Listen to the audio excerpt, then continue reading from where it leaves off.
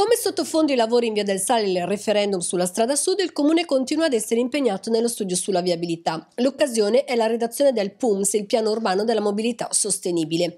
Dopo il monitoraggio del traffico attraverso le spire sistemate in 57 punti sulle principali arterie cittadine, da oggi è iniziata una nuova raccolta dati che intende indagare i flussi di origine e destinazione nella quale saranno coinvolti direttamente i cittadini, intervistati da personale autorizzato.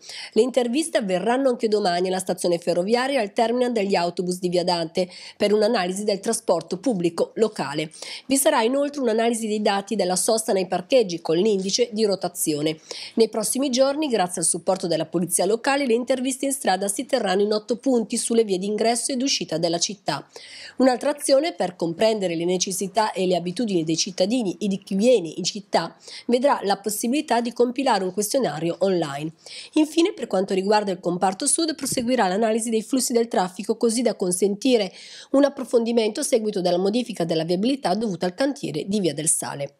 Ad inizio giugno è prevista una prima restituzione dei risultati ai consiglieri comunali della Commissione Ambiente, successivamente agli amministratori, quindi i presidenti dei comitati di quartieri ed altri stakeholders.